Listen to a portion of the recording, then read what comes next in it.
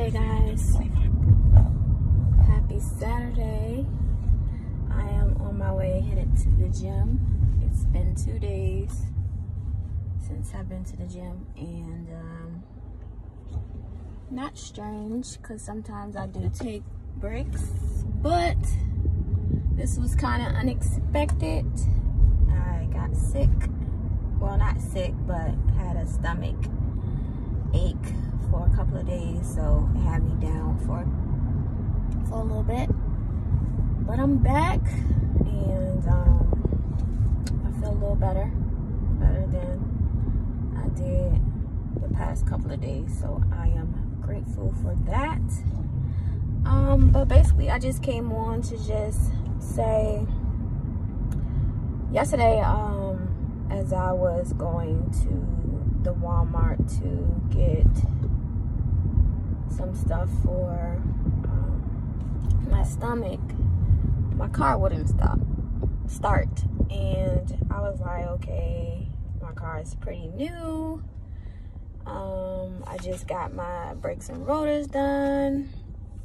And um, everything seemed like it was running smoothly, the, you know, before the, the last time that I drove it. So I thought it maybe was the battery in my in my um, my key fob that was dead. So last time that happened, I just had to replace the battery. So nothing would start, and the dashboard had like a key, and it was blinking. So I just assumed maybe it was the key. The key was dead.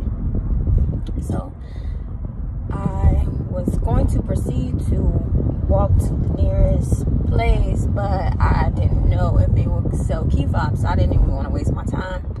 So I called my dad and I told him, and I sent him a picture of how my old one looked, and he went to CVS and he brought it.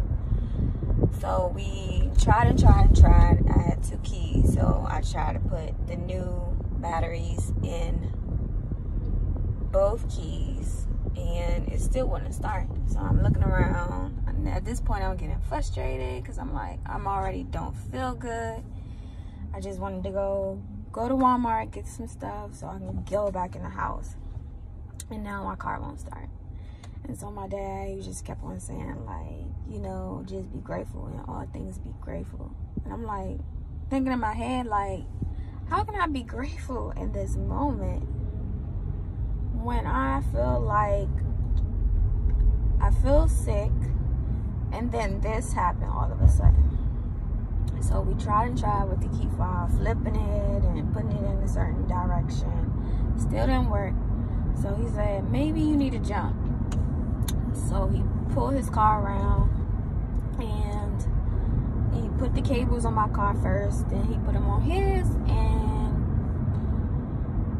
everything just started blinking and going off and it started working. And I'm like, what the heck? Like, is my battery dead? My battery is pretty new. It's not even a year old to my understanding.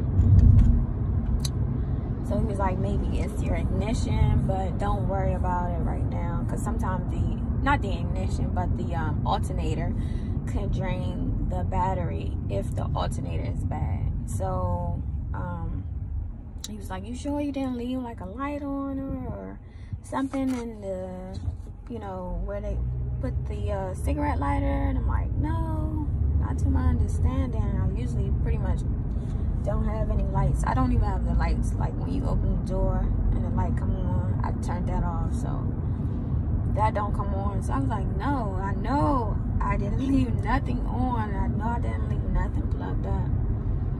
But I said I I you know I gave you guys that story just to give you a scenario of life and the unexpected things that we you know endure. And when my dad said you know and all things give thanks and um, at the time I, I couldn't really say thank you God for like that didn't make sense to me. Like thank you God for allowing me to have a stomach ache and my car don't work. you know, it didn't make sense at the time, but of course, you know, once everything got up and running, and I was just like, thank you, Jesus. I was like, thank you, Jesus, because my dad, you know, he stopped doing what he had to do to come and help me.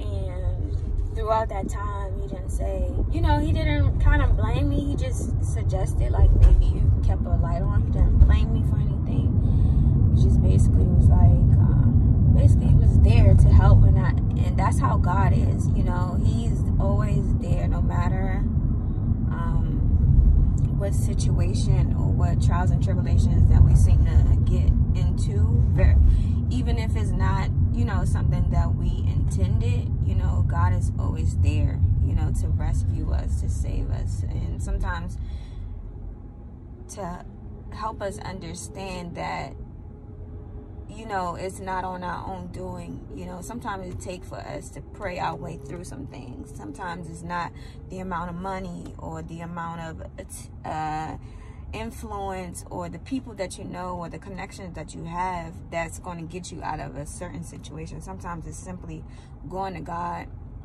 you know, and, and praying or just going to God, period, because we think we can do it on our own and um, you know sometimes god just you to acknowledge him and be grateful. And when he do you know pull you out a certain thing just give praise to him. And not to the person that he sent or not to the thing or the person he used to help you through a thing. Give it pra give praise to god because he was the one you know who laid it on this person's heart to bless you to help you and to help you get through. So, um, yeah, that was pretty much what happened to me yesterday. Today, I said, like I said, I'm on my way to the gym. I feel better. And, um, yeah, it's just, that's life, you know, you just never know what could happen and you don't know why it happened, but it's happening for a reason. Count it all joy in all things count it all joy because at the end of the day it's something he's trying to prune out of you. It's something he's trying to help you to understand um, whether that's more patience or um, trust trusting in him trusting in his plan trusting that he got you. Whatever it is he is trying to instill something in you and unfortunately you know we think it's a punishment when we go through things but it's not it's not a punishment. It's, it's for us to give god glory.